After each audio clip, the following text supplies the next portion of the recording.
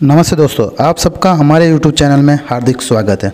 तो दोस्तों, आज मैं आपके लिए लेकर आया हूँ कृषि पर्यवेक्षक के नंबरों से संबंधित पूरी जानकारी लेके। तो दोस्तों, मैं आपको बता देना चाहता हूँ कि राजस्थान में किसी भर्ती से संबंधित सबसे पहले जानकारी के लिए हमारे यूट्यूब चैनल को लाइक करें, सब्सक्राइब करें।